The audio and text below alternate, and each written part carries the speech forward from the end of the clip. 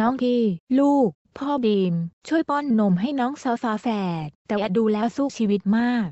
เอ็นดูมาก น้องพี่ ลูกชายฝาแฝด พ่อบีม อาสาช่วยป้อนนมให้น้องสาวฝาแฝด น้องอ๋อไม้หันอากาศยาวา แต่ดูแล้วไม่เข้าปากเลยสำหรับครอบครัวของนักร้องหนุ่ม บีม กวี และภรรยาคนสวย ออยออกติพร และเรียกได้ว่าเป็นครอบครัวที่ทออบสุดๆ ในตอนนี้เลยก็ว่าได้ หลังมีลูกแฝด น้องที่ขีดกลางน้องทีและเมื่อไม่นานมานี้เพิ่งมีสองสาวฟ้าแฝดมาเสริมทับความน่ารักอย่าง น้องอ๋อไม้หันอากาศยาวาขีดกลางน้องอัญญา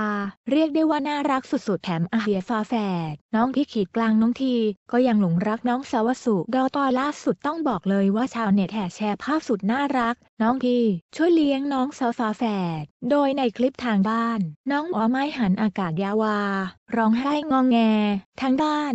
พี่ๆ เลยขอนมมาป้อนให้น้องสาว แต่ดูแล้วต้องบอกเลยว่าน้องสาวสู้ชีวิตหนักมาก เพราะพี่ชายป้อนไม่ตรงกับน้องสาวเลยจ้า ใครที่เห็นก็ต่างเข้ามาในความเอ็นดูพี่ชายอยากช่วยน้องสาว